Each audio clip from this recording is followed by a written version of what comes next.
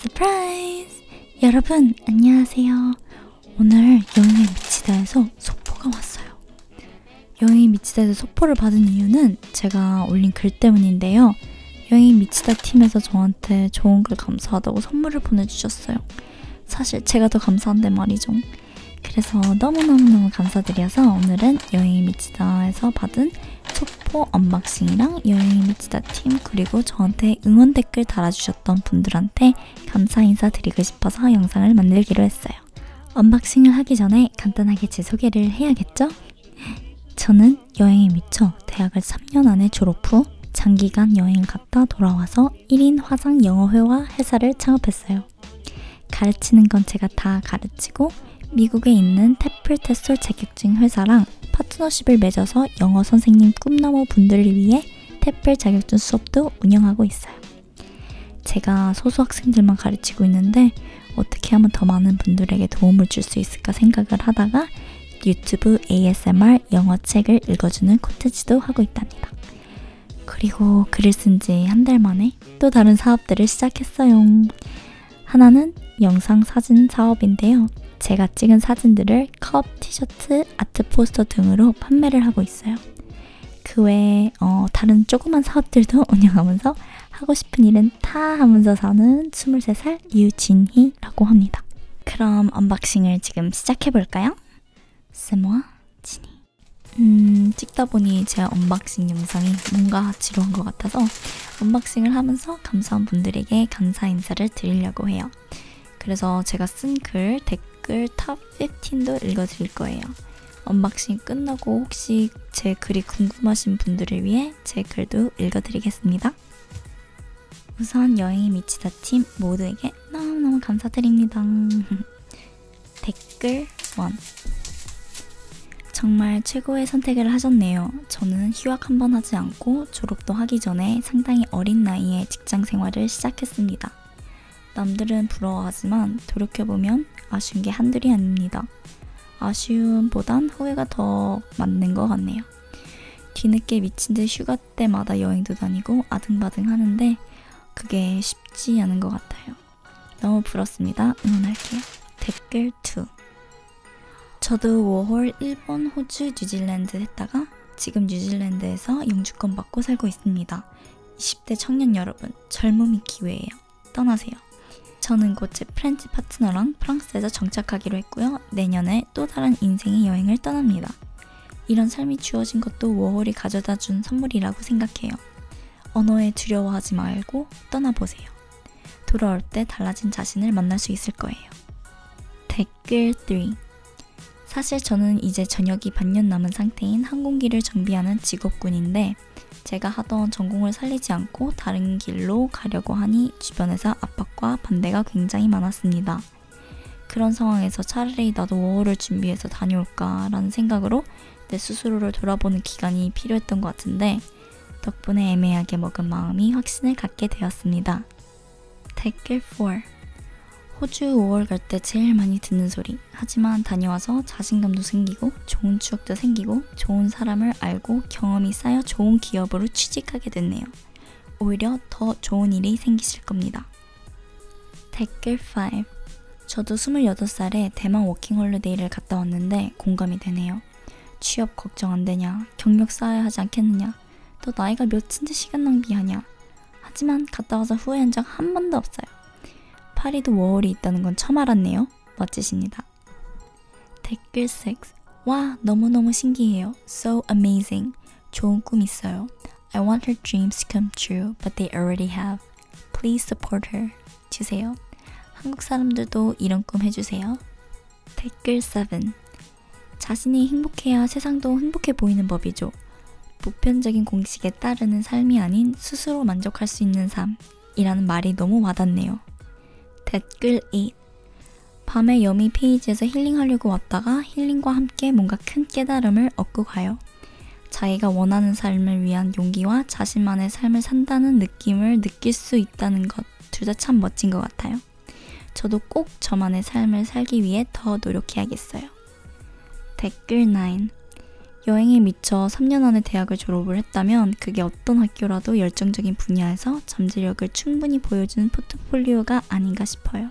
댓글 10. 반 100년을 살았고 20대에 두 자녀를 둔 엄마입니다. 나의 두 자녀들도 지니 씨와 같이 자신감을 가지고 자신의 꿈을 찾고 노력하며 인생을 즐기며 행복하게 살았으면 하는 바람을 가져봅니다. 그리고 지니 씨 꿈과 노력, 삶을 응원합니다. 댓글 11. 와, 진짜 멋있고 부러워요. 저는 동물구조나 동물원에 취업해서 동물들과 지내고 싶지만 반대도 많고 현실이라는 게 24살에 회사 들어가서 여전히 꿈에 대한 미련이 너무 많이 남아요. 리스크도 크지만 원하는 걸 한다는 게 진짜 행복인 것 같아요. 사진만 봐도 정말 행복한 게 보이시니 정말 부럽고 대단해요. 돌이켜봐도 후회 없는 삶 보내셨으면 좋겠습니다. 화이팅입니다. 댓글 12.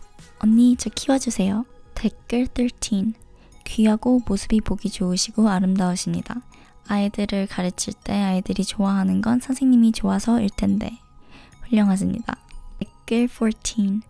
다른 사람들은 그 길을 가보지 않았기에 두려워합니다. 그 길이 어떤 길이 될지 모르니까요. 하지만 도전하지 않으면 얻는 것 또한 없습니다. 본인 스스로 행복할 일에 도전하신 것만으로 충분히 박수받고 칭찬 받으셔야 돼요. 그리고 마지막으로 역시 아이들의 웃음은 세상 최고의 선물이네요. 댓글 15. 멋지십니다. 지금까지 찍으신 사진들 상업적 용도로 구매 가능할까요? 네, 가능합니다. 그리고 다시 한번 너무너무너무 감사드리고요. 어, 저 항상 응원해준 저희 엄마, 그리고 사랑하는 사람들, 다시 한번 너무너무 감사드립니다.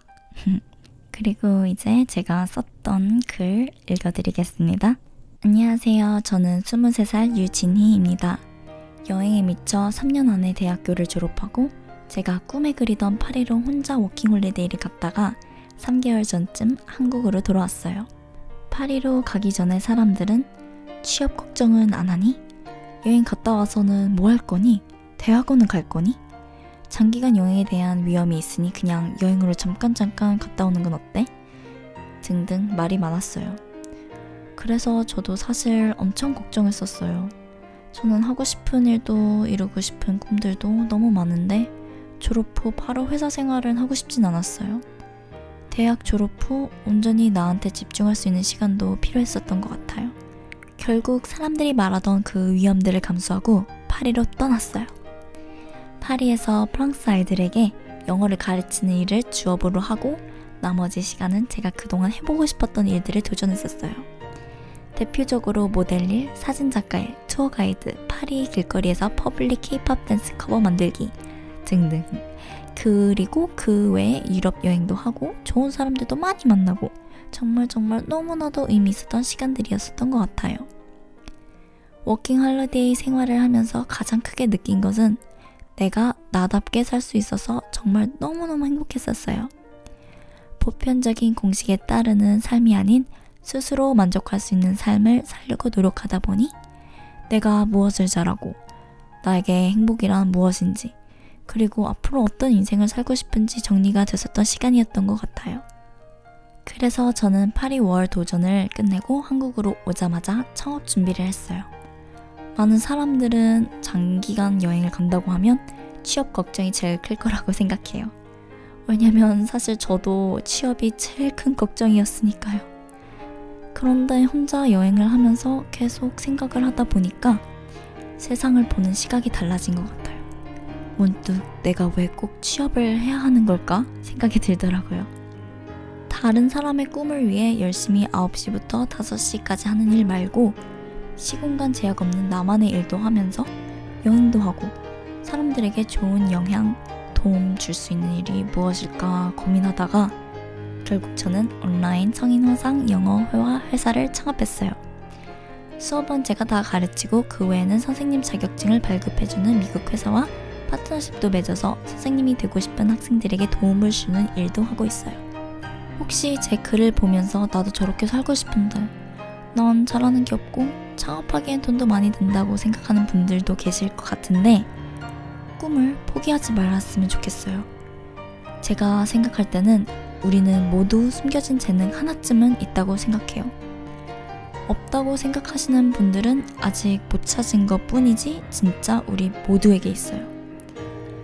그 숨겨진 재능을 찾는 게 중요한 것 같아요.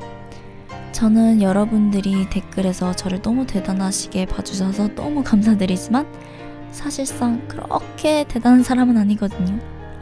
저는 단지 제가 가진 걸 잘 활용하는 능력이 있었던 것 같아요.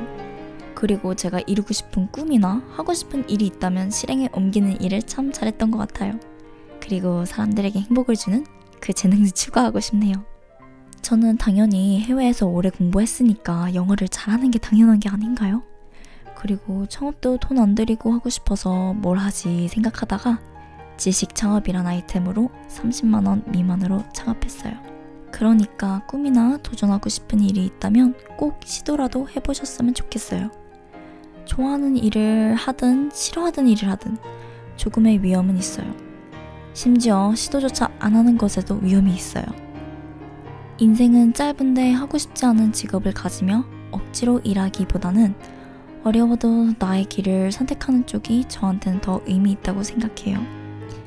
나만의 길을 개척한다는 건 당연히 쉬운 일이 아니겠지만 불가능하지 않기에 제 꿈을 현실로 꼭 만들고 싶었어요. 꼭 한 가지 직업이 나를 나타낼 필요는 없다 생각해서 저는 앞으로도 여행 컨텐츠 크리에이터, 사진작가 일, 모델 일, 투어 가이드 일 등등 의미 있고 나를 행복하게 하는 일 하며 행복하게 살고 싶어요. 원래 내가 행복해야지 행복을 나눠줄 수 있는 것 같더라고요.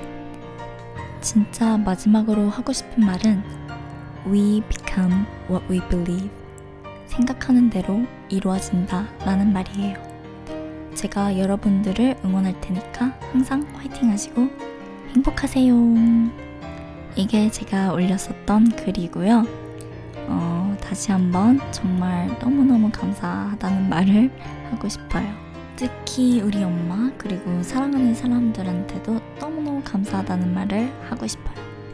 만약에 제 사업이나 저에 대해서 궁금하신 게 있다면 www.semoijini.com을 들려주세요. 어, 사업, 영어 블로그, 네이버 블로그, 유튜브, 인스타 등 정보가 다 있으니까 들려주시면 감사하겠습니다. 그리고 끝까지 보신 분들이 있다면 너무 감사드리고 앞으로도 화이팅입니다. 새해 복 많이 받으세요.